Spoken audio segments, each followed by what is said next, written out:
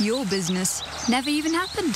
That one for you. How does it taste? Is that delicious? They've ruined rainbow flavoured ice cream for an entire generation of children. There you are. Oh, yum! Give me some rainbow crap. What is this? I didn't know you had the kitchen skills, Whip. Did you make this all by yourself? In a way, yeah. Wow. Uh, and d- have you put nuts all the way through it? Have I? Wow. Yeah, recipe changes every time. This is unbelievable. Your breath smells. Legend. Anyway, let's shall we lift the tone of the show? Mm. I reckon we stay right in the underpants region. Wild in concept, yet simple in delivery. Welcome to the day in the life of... Was that his... Is that his mobile phone? Come on, has he put it that close? I think this is the greatest thing I've ever seen in my life, and it's balls. Us blokes never talk about underwear. Well, weird guys do. So Bonds came up with a ballsy way to sell their jocks. It's a brilliant idea. I love the testicles. Is it getting cold in here? Yeah. It's, is it chilly? I thought it was just breezy, me. breezy, No, it's isn't it? very Like, cold, isn't Really it? cold. And Bonds have even had the balls to stick this on the side of a Melbourne building to show just how chilly they can get, with the boys reacting to temperatures on this giant thermometer. Funny balls. Balls aren't usually that funny. I warmed to the balls. Brain, you're not wearing those undies, are you? This is the brain. These are my favorites. I think Bond's really got that relationship between the balls and the brain. All right, it's a very complicated relationship. And repeat, we have a singularity. Gas! Get it! This enlightening ad takes you through all the ups and downs of what goes on inside a man's undies. The good, Brain, we've just spotted a female. We're thinking of heading over for a conversation. the bad, Yeah, uh, I mean, you know what happens to us when we go for a cycle? It's it's horrific down here. Oh, that's going to be a rash. and the very, very ugly. Brace for impact. In three, two, one. I came in like a. They've captured that that moment when your balls are kicked or knocked or you know kneed. I don't feel. Did you feel anything? No, I think I feel okay. No, I think we're going to be be all a- right. Yep, I'm feeling it straight away. Women learned a hell of a lot too. I didn't realise that swimming was such a bad thing for balls. Do you even know what happens to us when we go for a swim like this? Like, hey, hey, hey, whoa, whoa! And I also didn't know quite how uh, the movement occurred. Gee. Doesn't really want to make me buy underwear. No. It does make me want to scratch my nuts. All right, calm oh, down. You're not itchy at all?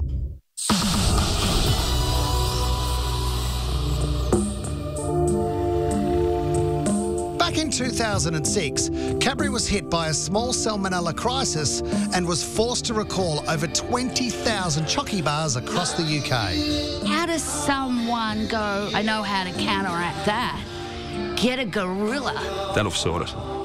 The gorilla and the magic of a Phil Collins masterpiece combined to give us one of the most weirdly memorable ads ever. Because the first few shots of that, you- you're looking at this monkey, and I thought he was having some kind of sexual experience. You know, he's kind of, mm, and his eyes are rolling back. And, and then I thought, no, he's on the dunny. And then it cuts to him drumming.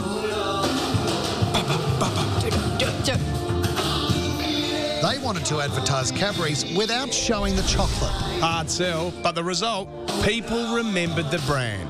It's so relatable, and it's it's something that leaves an imprint on your mind. It's a phenomenon in and of itself. I don't think I went out and bought more Cadbury's because of it. I just enjoyed the ad.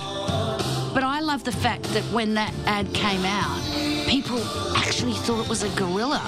What is a guy in a suit?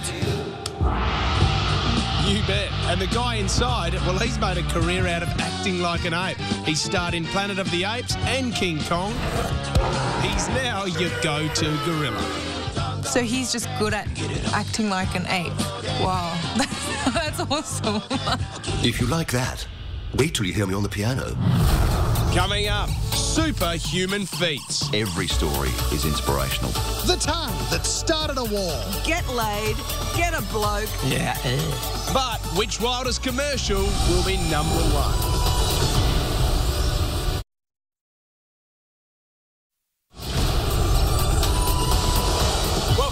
20 to 1 as we count down the world's wildest commercials. Yeah, and as we all know, some of the most incredible commercials come out of Egypt. Everyone knows that. Egypt's amazing. Well, advertising is one of their biggest industries, along with uh, pyramid key rings and political instability. Yep, and judging by their cheese commercials, I'm guessing the folks writing their ads are pretty unstable too. Here's number 16.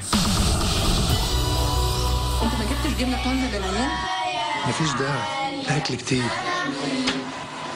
Just So you're an ambitious Egyptian cheesemaker and you're looking for the perfect animal to sell your cheese. A camel? A pussycat? No, a panda, of course. Just make sure you buy his cheese. Panda cheese. What the? He's an arsehole.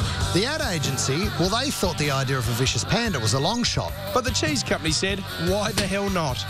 I think that's great. Yeah, yeah, yeah. I think that's great just to shock people.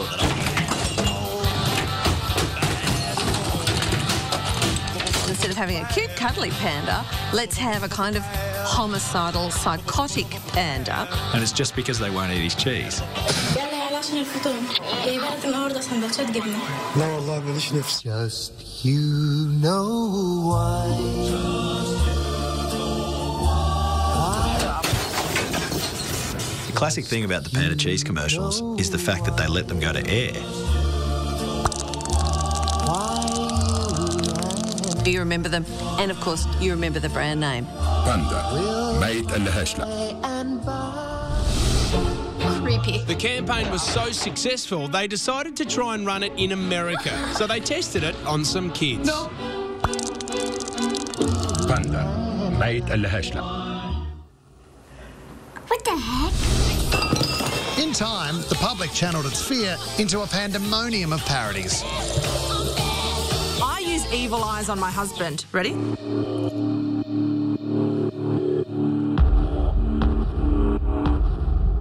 That panda takes it next level. Just you know. I'll never ever say no to panda cheese.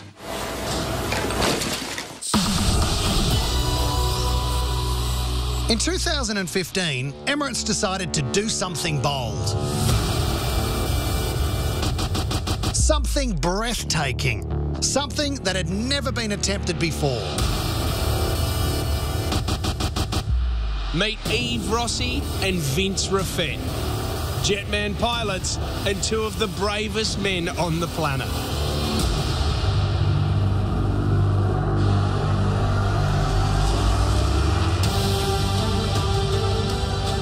This is something that you don't want to try at home. Above the Dubai skyline, these guys achieved something amazing.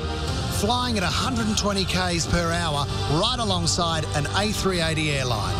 Who came up with that? Because I want to shake their hand because it was absolutely brilliant.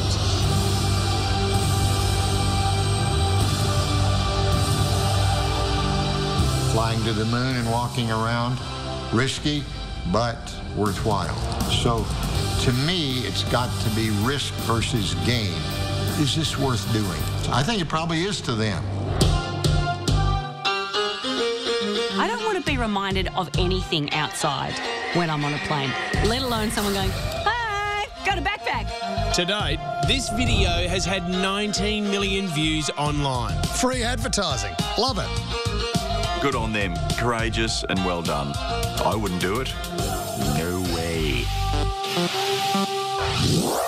What a lovely way to get to Dubai. It's just a pity their luggage is still in Bangkok. I know. I tell you what, though, it's better than sitting next to a crying baby for 15 hours, am I right? Why do you always bring that up? I was going through a very, very emotional time, but I've moved on. I'm keeping strong. As should we. Hmm. and this next ad was so good it passed with flying colours, literally. When you sell a TV, you want to sell colour, and Sony is always finding new wild ways to grab our attention. But they took it to the next level in 2006 with a groundbreaking concept shot in a condemned tower block in Scotland.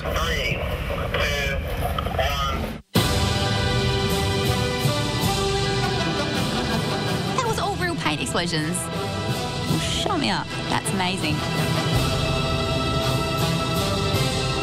That was like magical in a way. imagine the amount of work it would have taken to load all of those canisters.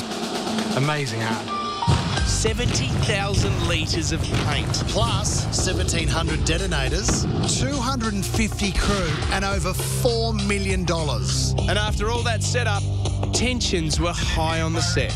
Okay, guys. Three. Whoa, whoa, whoa. Not ready. No. When, when I said action, Alex, don't Okay. scare me.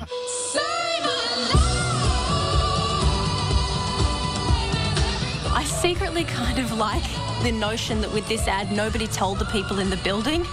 And then you've just got this one woman sitting there looking out her window going, What the? That would have been a, one hell of a cleanup, wouldn't it, doing that? Is so beautiful. And then a clown from It comes along and it's terrifying. What? Oh my god. And then all of the red paint looks like blood and I can't watch it anymore. But the locals loved it. Except for this guy. I mean, you know, you get vandals, you get graffiti on the walls, but it's too much, in my opinion.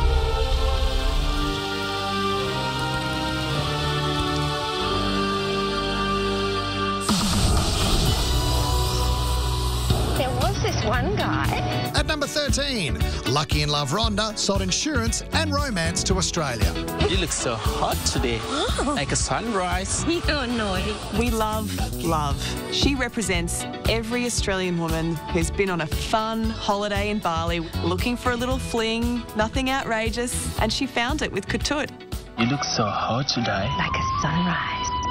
I whispered back, kiss me, Ketut. We love these guys so much, social media went off in Australia. T shirts went mad in Bali, and they even got into it at the doggies. You're watching TV commercial after TV commercial that's just selling at you. But what people respond to is story. We're a nation that loves that sort of woman, you know, the Muriels. It's like our next. You want them to find love and you want someone to be on their side. This holiday romance story ran across five chapters. After getting lucky in Bali, Rhonda's luck runs out on the road. Then she runs into her old flame, Trent Toogood. Look at you, Rhonda. Trent. I have no idea what this has to do with car insurance, but I love the love story. We all love the love story. Eyes on the road, Rhonda. She's got beautiful red hair, hasn't she? Like fire. Lucky Ketut was actually a forklift driver from Indonesia. And didn't he make the most of his fame? And from this, Rhonda, aka Mandy McElhinney, shed her Bali tan to star in some of Australia's best dramas. If you want to be something else, leave. Or I will take the first opportunity to get rid of you. But she'll always be Rhonda to me. To all of us, mate. Go to Bali, get laid, get a bloke, and get a tan. I mean, what more do you want? Eight down, 12 to go. I've never been more repulsed by an ad. Still to come, this tasty blockbuster that fired up a nation. But will it be wild enough to take out the top spot?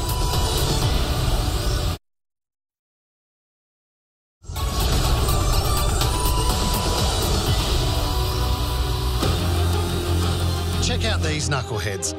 Seriously, there's no helping them. Or is there? Thank goodness our government is here to save the day. Dumb ways to die. So many dumb ways to die. How cute was that ad? Stand on the edge of This 2012 Victorian Public Service announcement was essentially a clever way to tell idiots how not to die. Yeah, dumb ways to die. Don't run across a train track. But thanks to our pollies, we learnt the trains aren't the only thing to look out for. Teach yourself how to fly. Eat a two-week-old unrefrigerated pie. It's quite bizarre because it's this happy little, like, dumb ways to die but then it's got like penises that have been cut in half and heads that are off and blood spilling out. You know what actually really concerns me though is the amount of things that as a as a 20 something I've actually done. Like get toast out with a fork. I've done that. Let a, let an axe murder into your house. Have you met my ex? I've done that. I've done a lot of those things. The humble jingle turned into a runaway train, with the song charting in Belgium, the Netherlands, and even the UK. No wonder, with the people behind it, like Ollie from the Cat Empire, who wrote the music. And this guy, John Mescall, who made the video. We're in the agency and we'd seen this, you know, 100, 150 times while we we're animating it. And every time it came on, people still wandered over to have a look and have a laugh. And that was when we thought, "Ooh, hang on a minute, this thing's going to be pretty catchy. Dumb Ways to Die is now the world's most shared public service announcement. That's the whole point, isn't it, of those campaigns, is to go viral. And if it saves one life, then well played. Did you know that that ad had over 125 million YouTube hits? Wow. But it did miss out on some other ways to die, I reckon, like giving your honest feedback about your girlfriend's new jeans. Not bad. Uh, what about blowing a kiss to an outlaw motorcycle club? That's a good one. What about taking on Rolling Stones guitarist Keith Richards in a game of let's see who can do the Yeah, most yeah, drugs? that's good. Eating street kebabs at 2 a.m. in the morning. Oh, I've got heaps too, but we're running out of time. One of the dumbest things would have to be dressing up as a lamb on Australia Day. So don't be an Australian. Serve lamb on Australia Day. Richie. Cookie! What's up? Can you make an Australia Day Barbie at my place? You know it's Australia Day when you see a new lamb ad. We love lamb ads almost as much as we love lamb. But they must have been really off their chops when they made this one. The 2016 lamb ad was the biggest and wildest yet with a star-studded cast of Aussies. Including two of the biggest hacks on the planet. Yes, Prime Minister, the barbecue is lit. They really went all, all out. The production on this ad was incredible. Right now, there's thousands of Australians stranded overseas. The snowball's chance in hell of eating lamb on Australia Day. Let's go get them. That ad in particular weirdly stirs this kind of patriotic part of you. It's like, you're coming home, mate. Australia Day. The unlikely leader of the mission is SBS news icon Lee Lin Chin. That was no way to spend Australia Day. She's funny. We'll never let that happen to another Australian again. I will buy whatever Lee Lin Chin is, is selling. She could actually play a great Bond villain. She could play the head of Spectre quite well. However, it also managed to offend people all over the world. I don't know how vegans have the energy to complain. Well, mate, a few hours you'll be eating lamb on the beach. But I'm a vegan now. Vegans. They're the last minority we can really have a crack at, aren't they? We're spending millions, perhaps even billions of dollars on a television ad encouraging people to eat murdered babies. We're just trying to live and let live. We love our tofu. When is that going to happen? Well done. Well done. Never. I'm so sorry, vegans. You do great things for the earth, and I wish I could join you. I just can't. Little chop. Um, um, um, um.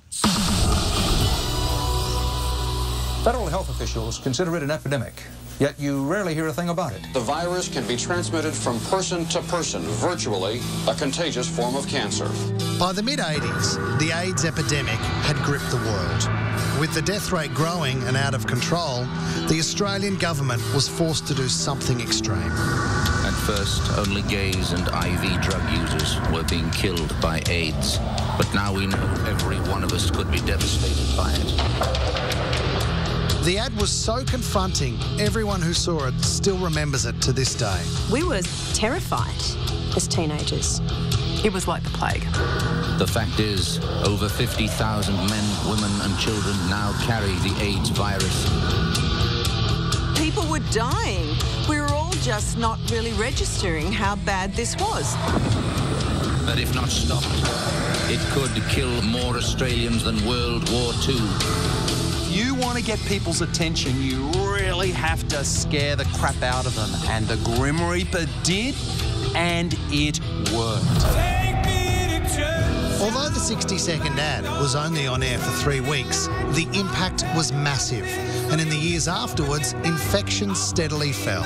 The Grim Reaper campaign created a political climate where the government could introduce a needle exchange program. That's why it was important. That's why it was part of the thing that made it a non issue, really, in Australia. Still to come. What is this beaver trying to sell us? They're insane. Advertising executives are insane. And will these badass babies make number one? I think it's the funniest ad I've ever seen.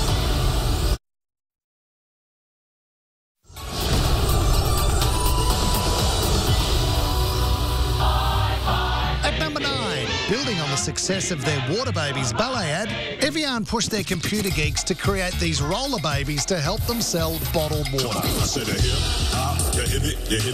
I love anything with babies, and so the Evian skating babies, it's ridiculous. Like, it's so ridiculous.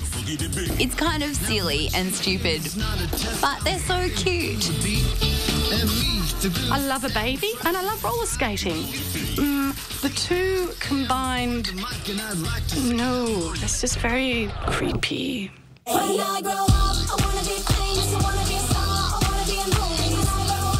Directed by an Aussie ad whiz, and with exterior shot in Melbourne, it featured 134 different babies.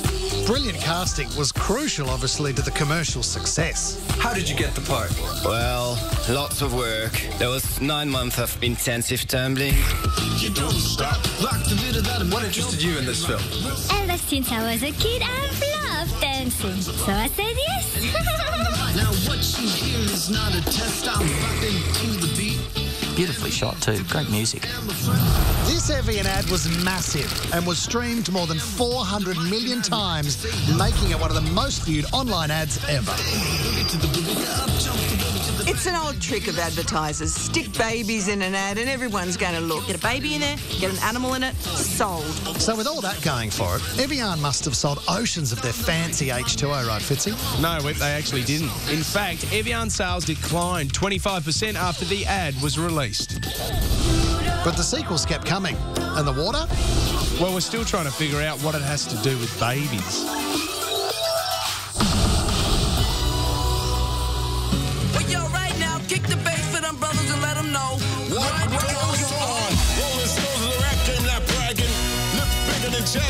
In 2012, this high energy ad launched the London Paralympics campaign. And we saw the Paralympians' abilities rather than their disabilities. What they do just defies anything that you know any able-bodied person can imagine being able to do. But for all the ad's sense of defiance, elation, and camaraderie, it's the athletes' origin stories that truly explains the superhuman battles. To stick the backstories in in the middle of the ad there really hits home. Gut wrenching, seeing how they got to where they are. About all they've been through to be there, and now they're doing something incredible with their lives. Every story is inspirational because you've got these people who've struggled and overcome their disability and achieved greatness. The 2012 London Paralympics were the first ever to sell out, raising the event and its athletes to the same level as the Olympic Games, right where it should be. This amazing commercial helped make that happen.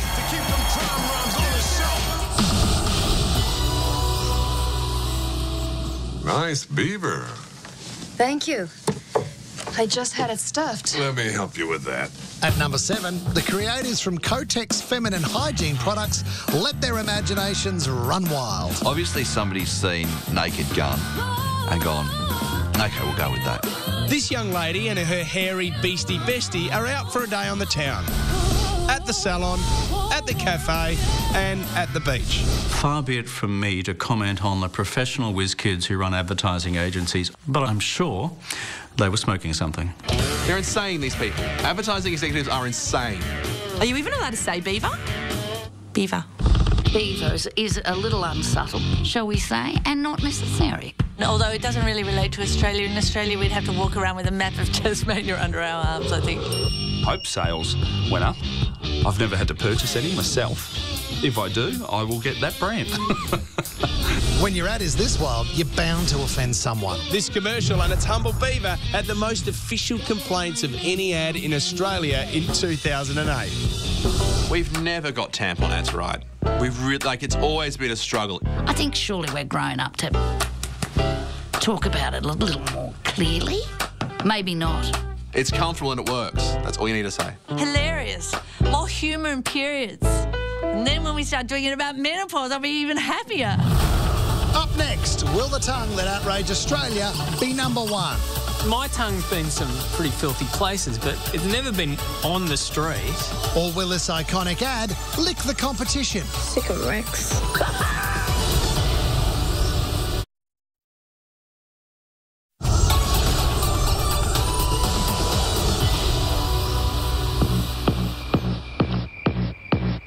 Push me, and then just touch me. Sliding into number So I can six, the beer commercial so wild it kicked off a big beer ad war. Satisfaction. I've never been more repulsed by an ad. Tongues have a place, and it's inside the mouth, I think. Tooheys' idea was to forget traditional beer drinkers and target young party people. I mean, if I could have a tongue that does that, then wouldn't have to leave the house. I'm surprised that it was allowed to, to go ahead because it is a little weird. Tongue goes on the ground. Didn't have a shower before he got back in the mouth. My tongue's been some pretty filthy places, but it's never been on the street. Okay, it's never been in a bathtub and then on the street. I don't know if that helped sales or not. It looked like a slug. But it worked. Sales went up $40 million. At 40 bucks a slab, that's a million slabs. So Tooheys' beer rivals came out blasting. But nothing beats the weirdness of the tongue ad. How did the tongue get out of his mouth? Like, I think these things through. I picture it. Oh.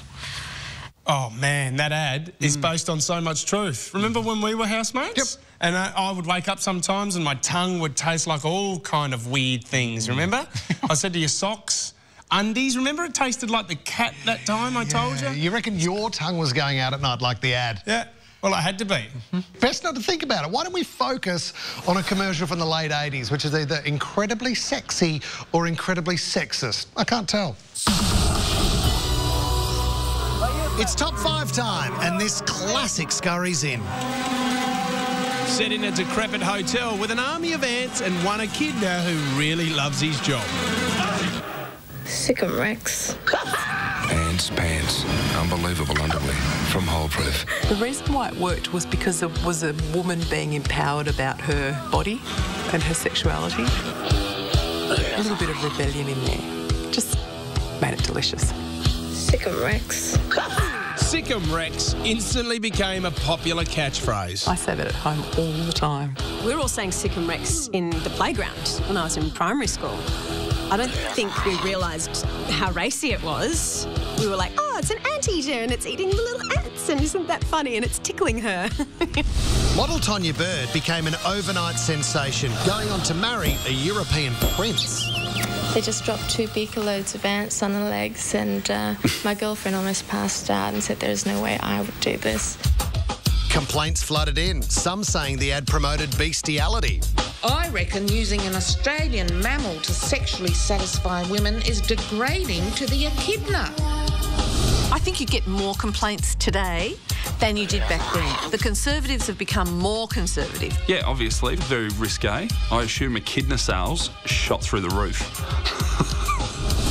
A decade later, Ants Pants were looking for another boost in sales, so they dusted off old Rex and gave him another run. This time with It Girls Nicky Hilton and Kimberly Stewart. Sick'em Rex. But nothing beats the original. None of the sequel ads were as good as that first one. That first one just was completely out of the box, if I'm allowed to use that term. Sick'em Rex. At number four, we meet Katie, a young girl in a hurry to grow up. I tried everything to get my period. Nothing. So, I faked it. Hmm. I love that ad. I love all sanitary product ads. And would you believe it's actually an ad for a starter kit? The HelloFlo starter kit, with all the feminine products and info you could ever need. And a period starter kit as well. Like, unless that is three bottles of gin and a block of chocolate, you don't need one. What's this? What do you think it is? I'm on my ladies' days. What do I think it is? Rubylicious nail polish. Someone should have told her in the first place. This isn't something to celebrate. It's the story of a young girl trying to put one over her mum, but she's totally onto it and decides to teach her daughter a lesson she'll never forget. We're throwing you a first moon party. What the hell is a first moon party? Oh, it's one thing to lie to me, but to take that tone, it's on. I think it's the funniest ad I've ever seen. People started showing up at my house. Oh my god. You're so grown My grandparents, my friends. This is so Good to see you. weird. Good to see you. My mom's friggin' coworkers. There she is. Hey, I got you the super pack. These are coffee filters. Yeah, I wasn't sure what brand you liked. This ad is so disturbing for me. It's so disturbing. And there are bits in it that are just so gory. I reckon if Quentin Tarantino watched this, he'd be like, you went too far. Tampon commercials are awkward. Okay, so let's not make them more awkward. Maybe you should open this first. Period starter kit. Aren't you gonna ground me for lying? Why do you think I threw you the first moon party? Would she think I wouldn't know? Periods don't have glitter in them. I liked all those other ads where they just got blue liquid and chucked that everywhere. Why can't they just do that? Come on. Sometimes you just gotta wait. It's 17 wild commercials down and three to go. It's unapologetically epic. So, ladies, I just want to be that guy. So, which will be our number one?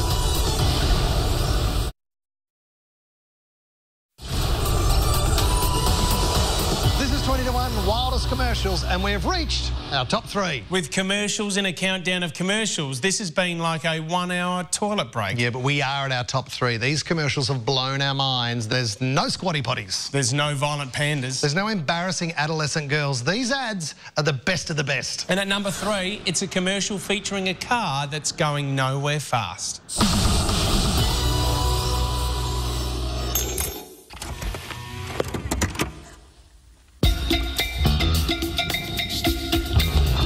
Huge sales slump in 2001, Honda needed something to save them. Throwing a few million bucks at the problem, they came out with this bad boy. I remember watching this for the first time going, oh, please fall. I'll go with the thing. And get, you get involved somehow. They did not do that for real. There is no way. Yes way. This chain reaction is known as the Rube Goldberg machine.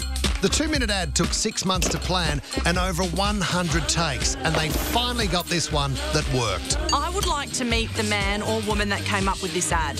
How are you so creatively brilliant that you can think of that? This was no mean feat, testing everybody's patience. Tiny changes in temperature, humidity, and even specks of dust could be enough to ruin it all. I would have loved to have been in the room and they've set it all up and it's incredible and they just flick the little cog and there's a guy in the background just like, you know, eating a packet of cheese. I was like, cut, come on. And then and the next time someone's sneezing in the background. The ad cost a couple of million to make, but sales went up almost a billion dollars. I love that ad. Others thought so too and copied it.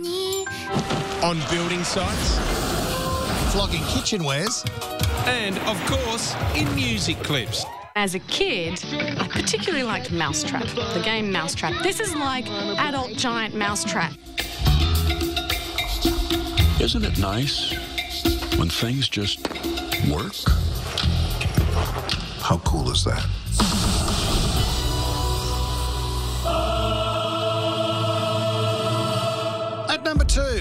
Two, deploys its army in the battle of the big beer ads. Big beer ad? Mate, it's huge.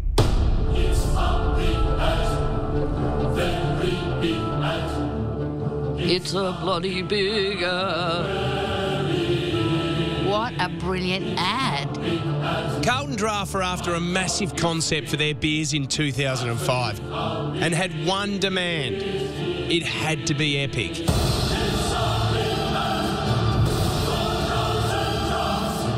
To get a big look, get in a big time cinematographer, Andrew Lesnie. Didn't he do Lord of the Rings?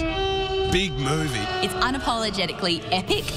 Gathered together in a freezing valley on New Zealand's South Island, a crowd of 6,000 beer disciples were computer generated from just 300 locals and backpackers. I bet they paid them in beer. The beer army begins to surge forward.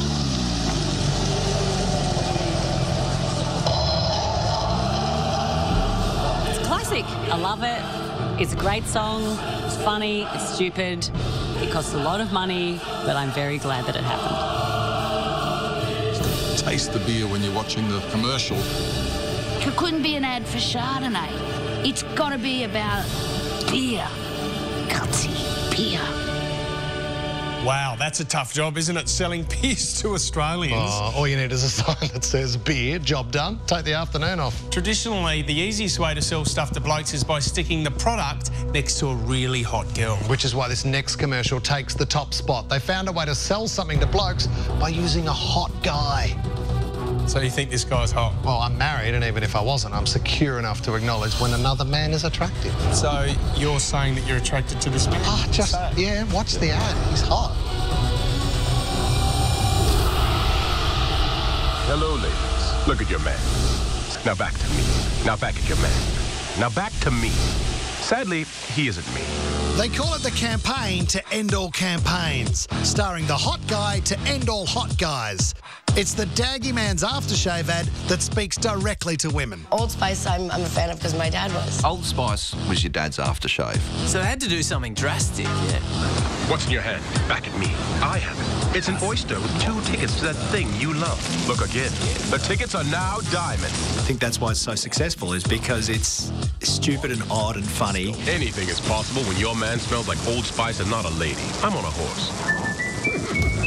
Everything is on the beach, so there's a there's a boat set on the beach, and there's there's a bathroom set which is behind me, and the bathroom shoots up in the air, and I just walk over onto this rig, and I sit down, and you don't see the uh, the the cameramen over there. They kind of push me over onto this horse that's sitting just off to the sides.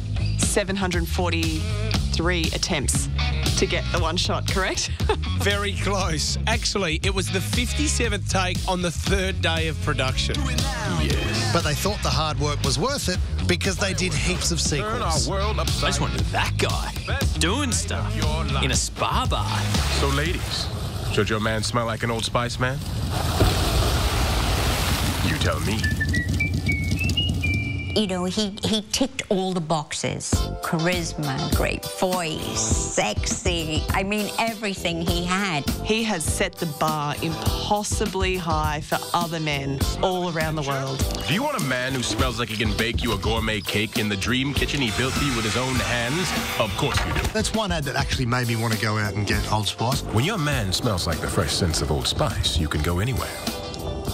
Unless, of course, you prefer to stay in. Yes. I love him. Sold. Give me two. I do love wearing cologne. I think it smells nice on girls.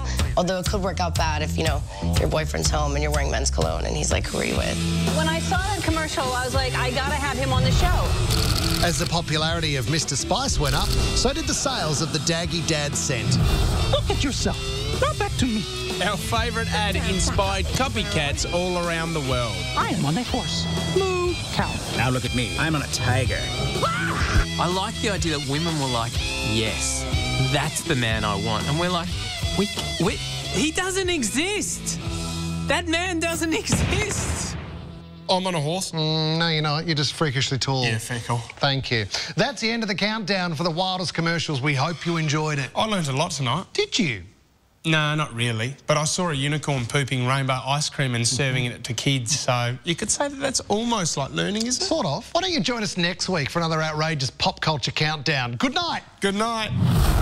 Next time on 20 to 1 Epic Fails.